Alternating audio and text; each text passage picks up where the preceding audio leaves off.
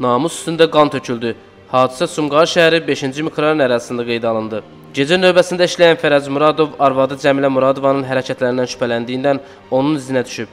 Gecə evdə olmadığını görən kişi qadının gəlməsini gözləyib. Elə hər şey də bundan sonra baş verib. Gözləri qızmış Fərəz Muradov arvadı Cəmilə Muradovaya nə az nə çox düz 7 bıçaq zərbəsi endirib.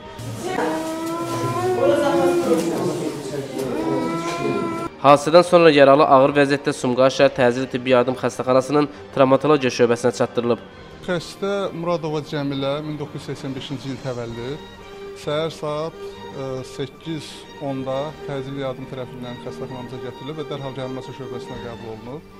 Müayinə zamanı döş qəfəsinin sol yarısında 7 bıçaq yarası, bıçaqlardan biri döş boşluğuna keçən və hemotoraksdan qanaxma ilə müşahidə olunan e, zədədir. Bir e, bıçaq yarası da sol e, sahib nahiyəsindədir.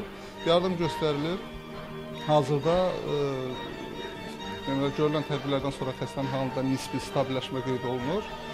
Eyni zamanda xəstə 1 saatdan artıq soyuq havada, çırpaq vəziyyətdə qaldığına görə düzdür bədənin soyuması prosesi də var və ona qarşı tədbirlər görülür. Hal-hazırda vəziyyəti ağırdır, amma gəldiyinə nisbətən stabildir. Hadisəni törədən Fərəz Muradov isə artıq saxlanılıb.